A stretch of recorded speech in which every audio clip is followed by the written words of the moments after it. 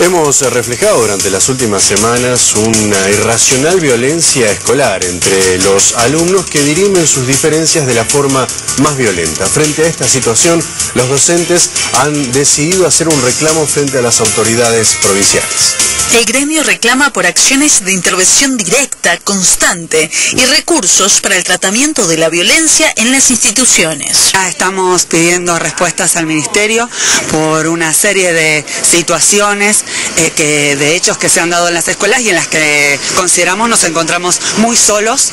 Eh, con nosotros eh, decimos claramente, digo, con, la, respuesta del Ministerio ha sido el protocolo, nosotros decimos, un protocolo que no da respuesta es un protocolo que no existe.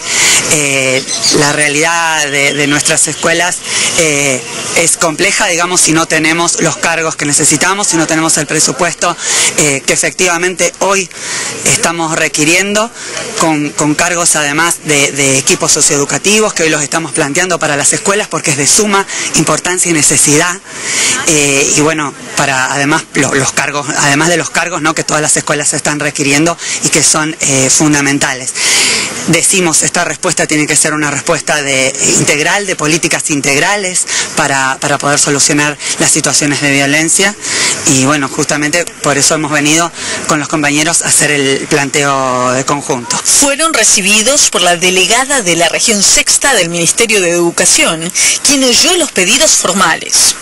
Lo que dijo la compañera, espacios, reuniones, em, hay un, ahora incluso, eh, digamos, llegamos a la situación en que los compañeros varones no quieren dar clase ya. Digo, ¿cómo? Alguien que decidió una carrera docente la vienen a truncar de esta forma. Cargos de todo tipo, cargos, horas cátedra. En lo, de, secundaria, el agujero, en la cantidad de preceptores que tienen que estar con niños y viendo, porque el trabajo que hacemos los maestros en primaria, en secundaria lo hacen los preceptores. ¿Cuánto hace que no se crean preceptores, Sabrina, que vos estás en secundaria? escuelas con Digamos, eh, una, eh, un vaciamiento de cargos y de horas que se necesitan. La atención, yo no sé si 50 equipos socioeducativos pueden llegar a solucionar, porque el tema es la política que van a seguir. Digamos, cuando uno hace los protocolos para los niños que tienen problemas, no está la solución rápida, no está la respuesta. Hay que hacer un protocolo burocrático hasta que decidan los dos o tres que atiendan. Y en el atender, volvemos a lo mismo. La culpabilidad es de la escuela, es de los docentes. AMSAFE sostiene que hay un abandono de la escuela pública y de sus actores ante hechos que exceden a lo educativo.